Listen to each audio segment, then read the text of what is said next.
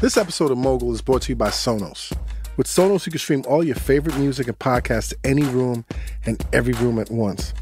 Me personally, I like all kinds of music, and this is kind of like a hip hop rap confession. Hashtag rap confession. I love listening to ABBA on my Sonos. Like, you know, ABBA, Bee Gees, um, Fleetwood Mac. I love Fleetwood Mac. The album Rumors, you know, people like Combat, Reggie for real. I'm like, yeah, like it's good music too, man. Don't be don't be a hardhead and and, and, listen to some ABBA on the Sonos. To learn more about Sonos, go to sonos.com slash mogul. That's S-O-N-O-S dot com slash mogul. M-O-G-U-L.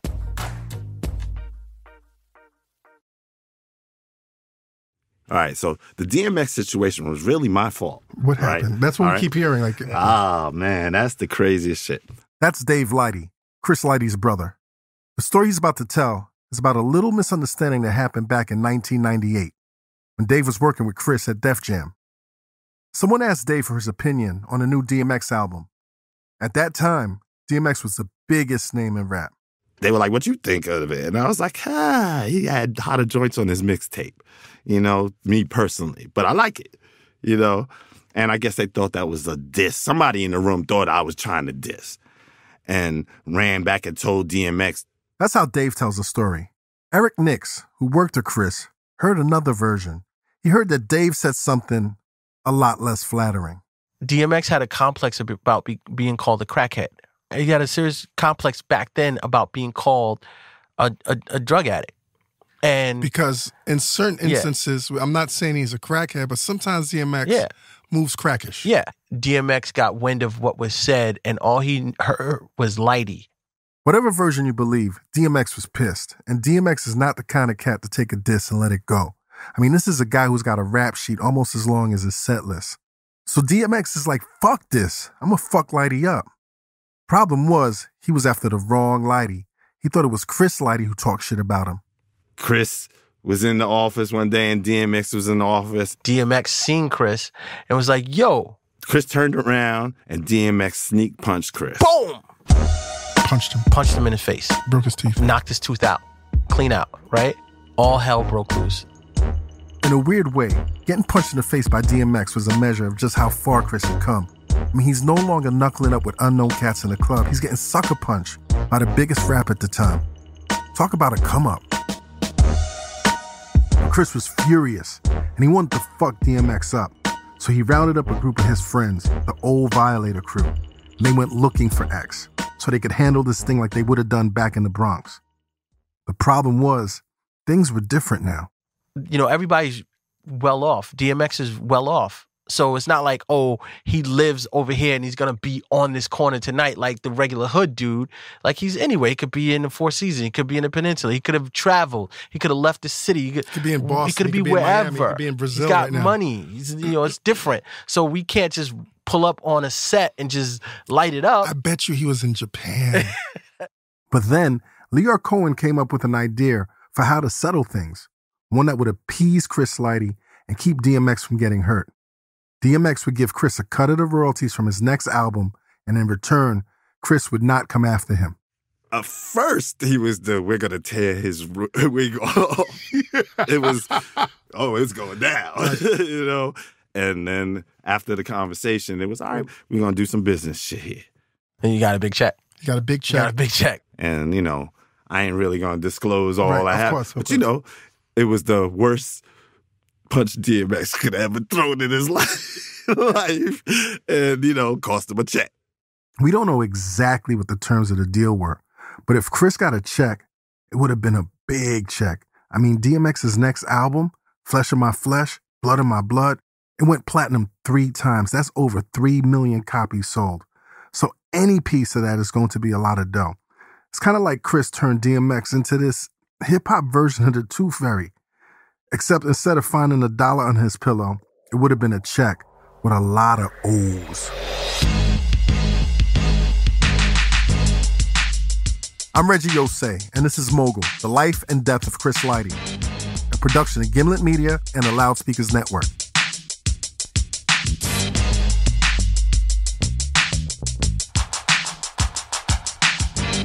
Around this time, it was like Lighty was unstoppable. Everything he touched turned into money. even a punch in the face. The dude just stayed winning. But I'm going to tell you right now, everything was not as perfect as it looked. And in this episode, we're going to get into some darker shit. The kind of shit people don't want to talk about, and the kind of shit people don't want to hear about either. And I got to warn you, there's violence involved. Not the kind of violence we've been hearing about early in this series. It's a different kind. And we'll get to that. But first, we have to tell you what happened next to Chris. In 1999, Chris decided to leave Def Jam and go on his own. He wanted to focus all his attention on his own thing, a hip hop management company he'd been running on the side. The company's name? Violator. That name is, of course, a throwback to the crew Chris ran with back when he was carrying crates for DJ Red Alert. With Chris running it full time, Violator took off, and by the mid 2000s, it was established as one of the industry's leading management companies. The Violator office is on 25th Street in Chelsea. It was inside this handsome 16 story building. Bubba Barker joined the company as an intern in 2006. Here he is describing exactly what it looked like inside. You come up the elevator, and they were these big silver doors, like a silver covering. I came in, and you got to ring a bell. And you come in, and there are these uh, yellow walls throughout, but you can't see the walls because there are so many plaques all over these walls. The plaques are covering the walls in all aspects. You can't Like- even like see. wallpaper. Yeah, you can't even see the walls, but you know it's yellow behind them. Those plaques are for gold and platinum albums. That's albums that sold over 500,000 and a million copies. Albums by artists like Q-Tip, Busta Rhymes, LL Cool J, Missy Elliott, Capone and Noriega, and high-profile R&B singers like Mariah Carey and Maxwell. And all of these stars were repped by Violator Management. and then you had the cubicles where you know all of the uh the junior managers and their interns were at that time and then you would pass the the real interns who were just waiting for somebody to say come do something for me which is where i sat All of those interns and junior managers, they were all desperate to impress the man in charge, Chris Lighty. i said to myself go introduce yourself to him let him know you here and you ready to work so when i went to see him he was coming out of his office and obviously he was on three phones at one time he had on this uh a sheepskin jacket. It was beautiful. It was black. He had on a white shirt, some jeans, and some some Gucci boots. He looked about his business. He looked like he meant something. And I was like, "How you doing? My name is Bubba. I'm an intern here." He was like, "All right, what's up? That's what's up. Get ready to work." He just walked out, and that was that. You know what I mean? That was the first time I ever spoke to him. Chris didn't just look about his business, he was about his business. And he wanted everyone who worked at Violator to be the same way. You had to be on top of your game 24 7, 365. He was there at eight o'clock every day, rain, sleet, hail, or snow. Like, why are you late, dude? Chris, I don't got to be here till nine. It's nine o two. Something could have happened between that. You could have missed a call. He would say things like that, not to be stern, but to be like, just think about it. Just think about it. You could have missed a call at nine o one. And you don't want to miss that call because the guys on the other end of the line were not fucking around. Guys like Busta Rhymes. Busta's a rapper from Brooklyn known for his cartoonish videos and a voice that sounds something like gravel going through a blender. And I mean that in a good way. Busta's voice is iconic. But while Busta's voice and his flow might be hard, he was one client Chris had to handle very delicately. He'll call the office just to see the vibe, and he'd be like, "Yo, let me speak to Chris." And you gotta recognize his voice. Don't ever get him twisted who he is. Don't So don't don't don't is. say who this is, because he'll disrespect you. So you'd be like, "All right, hold on." So you go see Chris. Got bust on the line. And depending on the day or the time, he could say, "I'll call him back," or he can say, "I ain't here." But the thing with Busta beat, Busta beat right downstairs and come upstairs. If I tell him he ain't here right now, he'll come upstairs to check. Cause he'll see Chris's driver outside. I didn't know he was outside. You know what I'm saying? So he'll come upstairs. Hey, yo, who answered the phone for me? You know what I mean? Him? They, they point. It was him. you lied to me, homie? You don't even fucking know me. Was he serious? Very serious. These artists, they were on Chris all the time. When he managed someone, it wasn't just about marketing, promotion, and contracts, it was their lives. If somebody needed to be bailed out of jail, he bailed them out. If someone needed money, he'd loan it to them. He was there for the big stuff and the small stuff too, down to the hems of their pants. Uh, I'm Puerto Rican. Ain't no doubt about it. That's the homie Noriega. He had some huge hits in the 1990s, and like me, is now a podcaster. Nori was managed by Chris, and he told my producer Matt and I this story that gives you a measure of just how involved Chris was in the lives of his clients. I'm getting married. This is my first marriage, my second marriage right now. God bless my wife. I love you, baby girl. I'm coming home to you right now. But my first marriage, uh, I'm getting married. And I'm Puerto Rican. So I, I, I stick my fucking hems in my the bell bottoms. I stick my bell bottoms in my socks. So I, that's how I walk down the aisle. Quick visual. Nori's saying he tucks his pant legs into his socks. And he told us he liked to stick his cash in there too. Because you know, because that's how I do it right now. Like if I had on pants right now, like it'd be in my one, one, one would be in my socks, and the other would be my money. You know what I'm saying? Like it's just how I was raised. I can't do it. So I'm I'm doing it. I'm spending two hundred fifty thousand for this wedding, and I still got like five hundred bucks on one sock, five hundred bucks on the other sock. So Chris comes and goes, "Oh no!" and this nigga pulled my shit out my.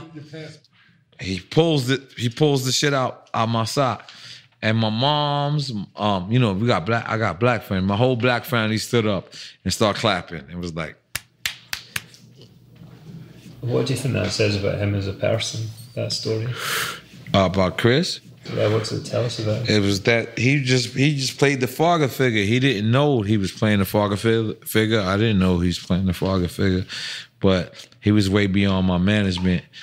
He was way beyond uh, uh, uh, business. business. You know what I'm saying? Way beyond that. And um, shit, I wish he was here for me to appreciate it. I talked to a lot of the artists that Chris worked with, and they said similar things. The artists that Chris managed genuinely seemed to love him. They trusted him. They felt like he understood them, knew he wanted what was best for them.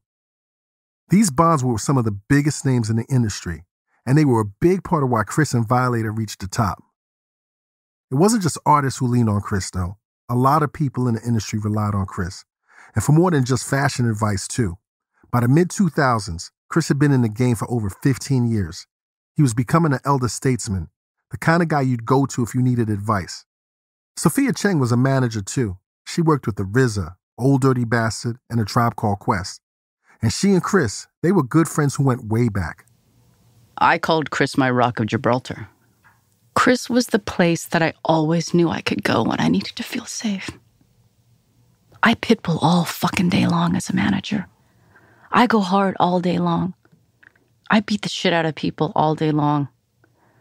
But I am still a woman. And I still do want to feel safe.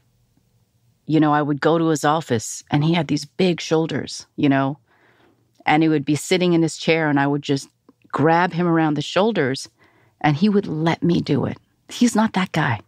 He's not a touchy feely guy. He was never like, oh, Soph, come and give me a hug. Quite the opposite, but he always let me do it because he knew I needed it.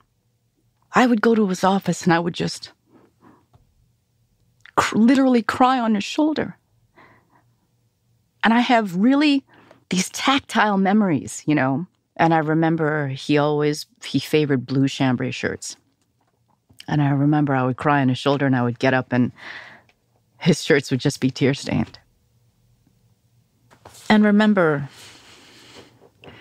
if I called him my Rock of Gibraltar, I was not alone. He was that to many, many, many, many people.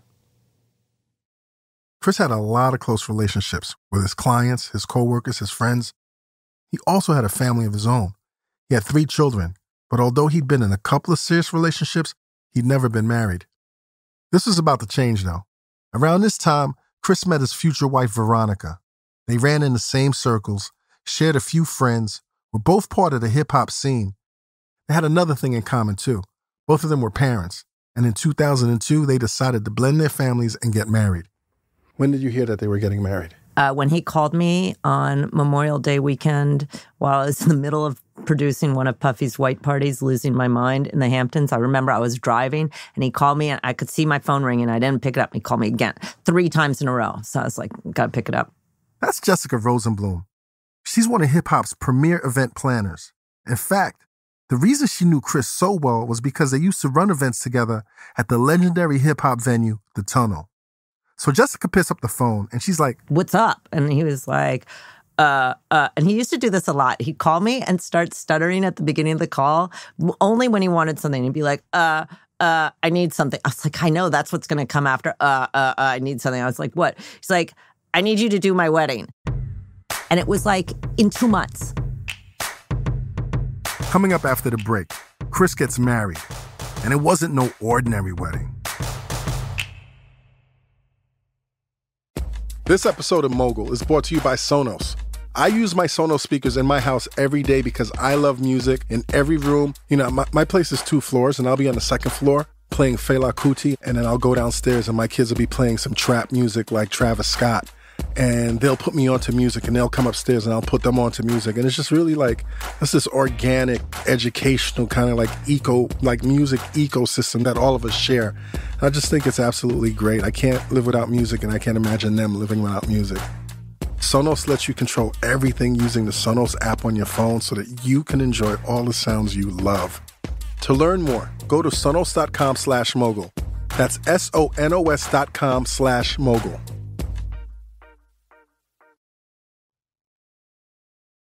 Welcome back to Mogul. All right, let's pick up where we left off. Chris's wedding. This was not going to be your average wedding. In fact, it was going to be spectacular, a real hip hop event.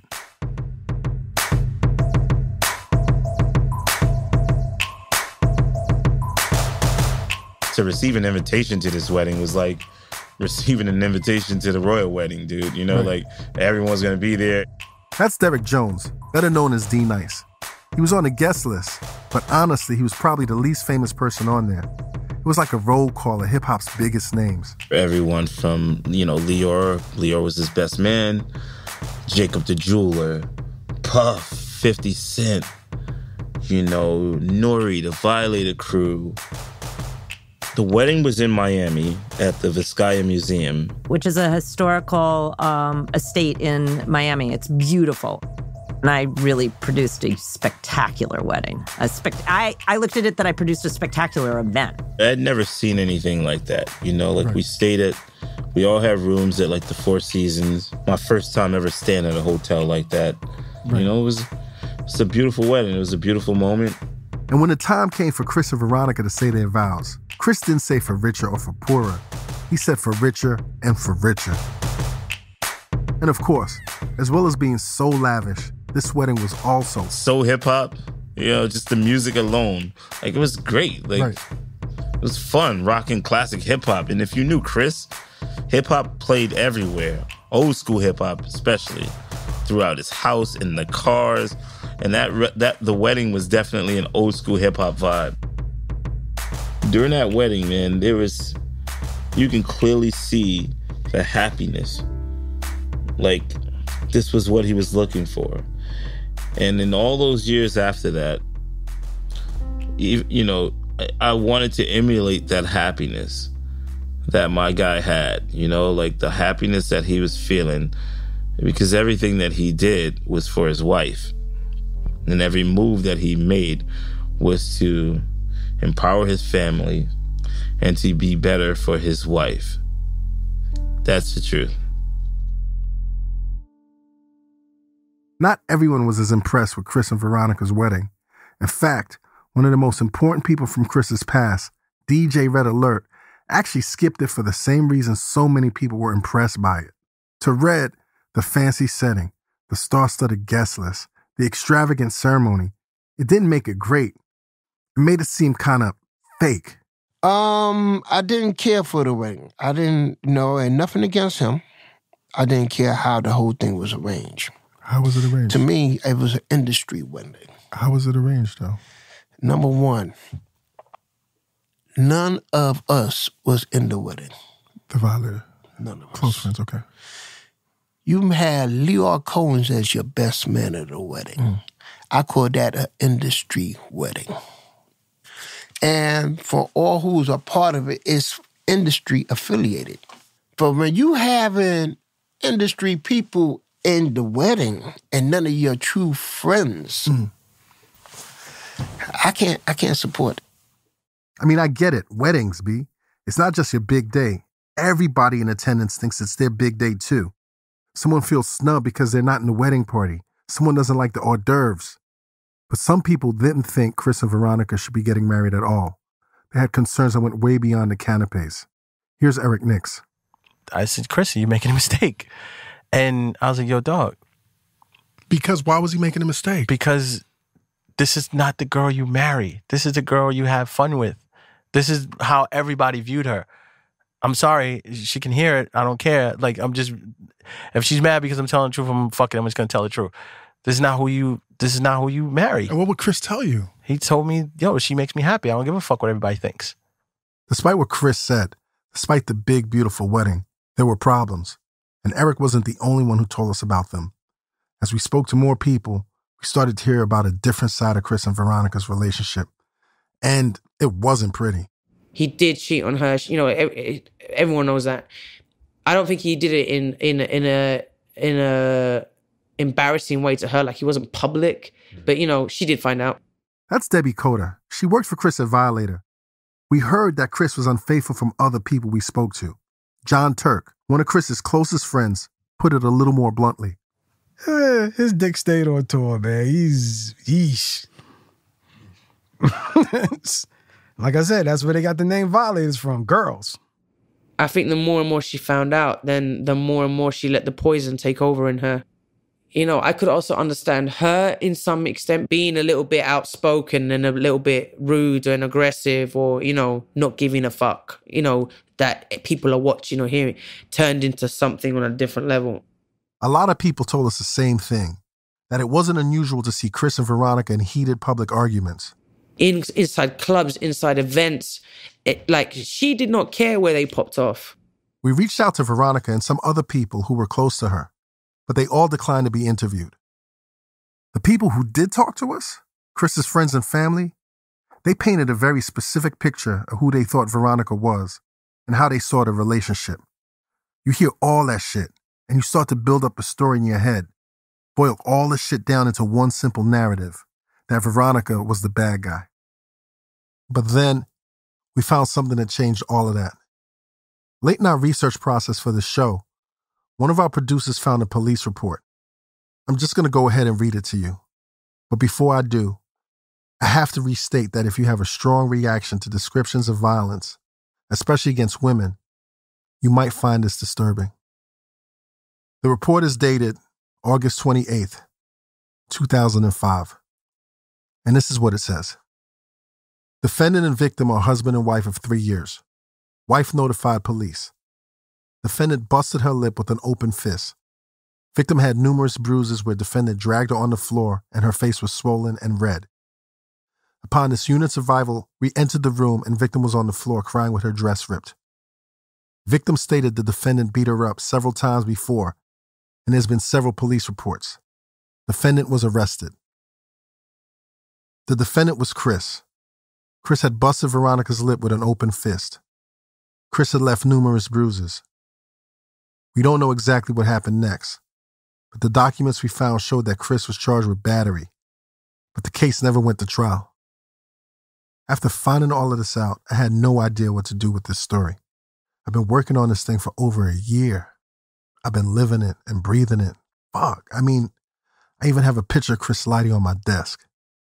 And I built up this portrait in my head of who he was and what he meant to people. And this police report didn't fit into that portrait. It smashed it all to pieces. It was so hard to reconcile that report with everything else I heard about Chris. The Rock of Gibraltar did this? The guy who so many people trusted? The guy who so many people respected? I couldn't wrap my head around it. So I decided to talk to somebody who deals with this shit all the time. I called Cameka Crawford. She's the chief communications officer for the National Domestic Violence Hotline. You know, as we roll out this story, um, one of our everybody's concern is like, what should we be careful about as we tell this story, and particularly with regard to this particular issue of the domestic abuse, like, what should we avoid saying? Like, what should we be careful in terms of like telling this story? I think that we have to step back and and you know i don't know and can't comment specifically on their situation but i think the biggest thing that you know we that people should be careful about is placing blame on the victims. And and i know it just seems obvious but it's like well what did that person do? Well there had to be something there. Um you know he or she must have been doing something um because i knew this person to be this way. So what did the victim do to provoke that um but no one provokes or does anything that deserves emotional, physical, financial, any type of abuse. I also knew I had to talk to the people closest to Chris about this report. Chris's family had been a part of this project since the beginning, so I wanted to get their response. I started with Nicole, Chris's sister. It's a call that, in truth, I didn't want to make. I mean, how do you tell somebody we found a police report that says your brother hit his wife.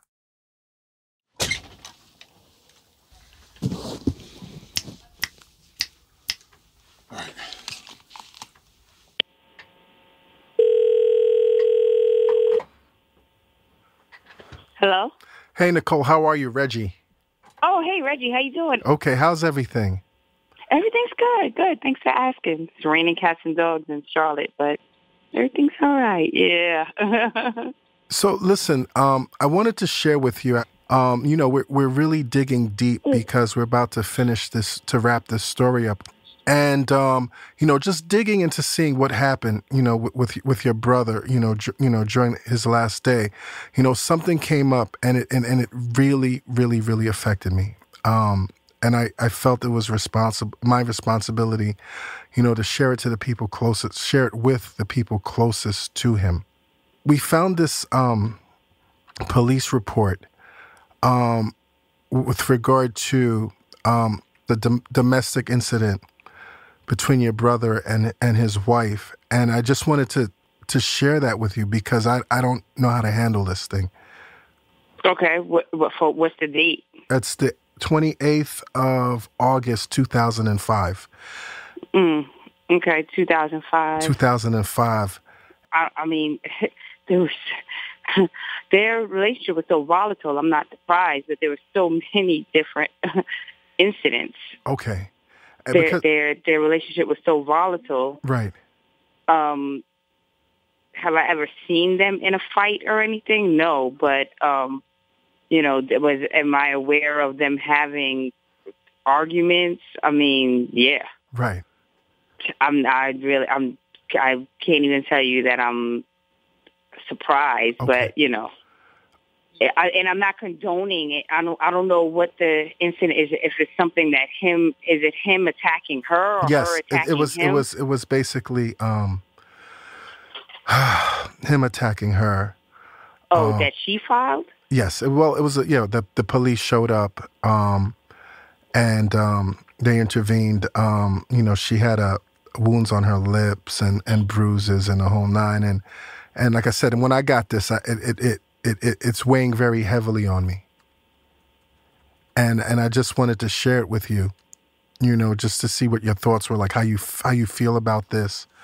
Um, Oh well, you know, I'm definitely not going to condone any man hitting any woman. right, Um, but I also don't condone a woman hitting a man, which I know incidents of that as well. right.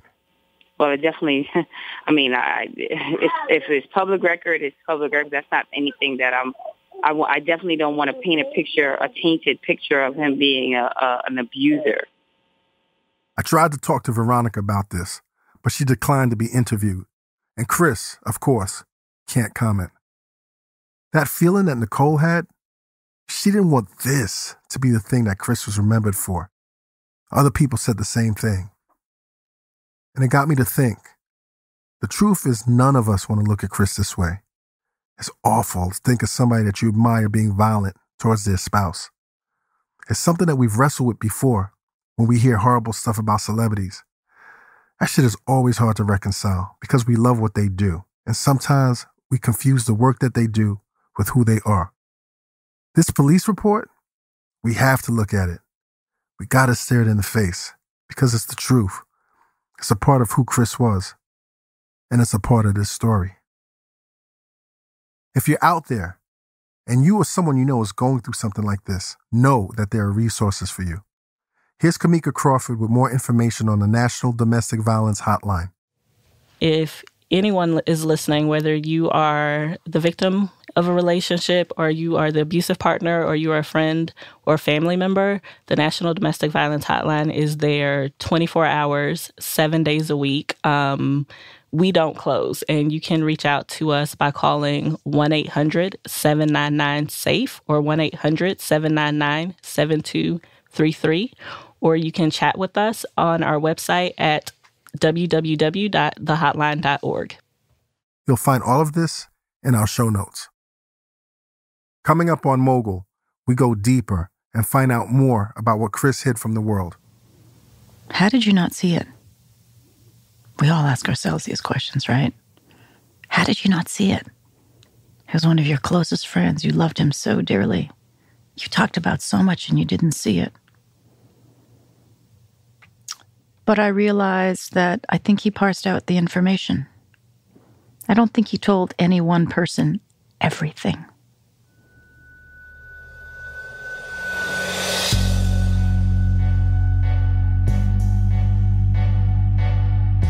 New episodes of Mogul come out every Friday.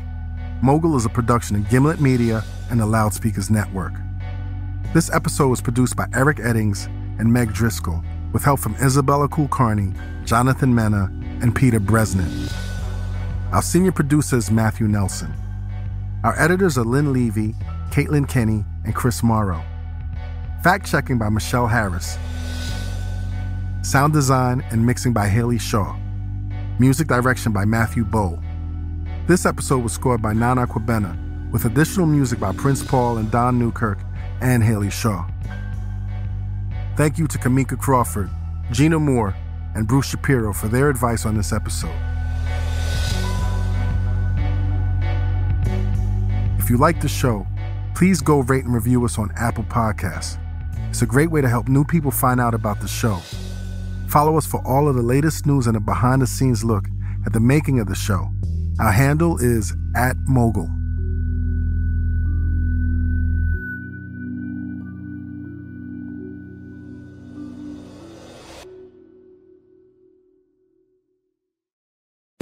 Hey, Mogul listeners. If you're looking for more podcasts about music, check out Song Exploder from Radiotopia. On the show, they bring you all types of musicians Ghostface Killah, Solange, Bjork, Iggy Pop, Gorillaz, U2, and more. And then the musician goes deep into dissecting one of their songs and the story of how it got made. Like, how did they come up with the concept? Why did they layer the vocals in a certain way? Or why did they choose a specific instrument? It's a show all about the creative process. And even if you don't know the song or the band, it's really fascinating to hear how a track gets built. You can find Song Exploder on Apple Podcasts, Radio Public, Stitcher, or wherever you get your podcasts. Thanks to our sponsor, Sonos, the home sound system. With Sonos, you can enjoy all the music and podcasts you love anywhere in your home. To learn more, go to sonos.com slash mogul. That's S-O-N-O-S dot com slash mogul, M-O-G-U-L.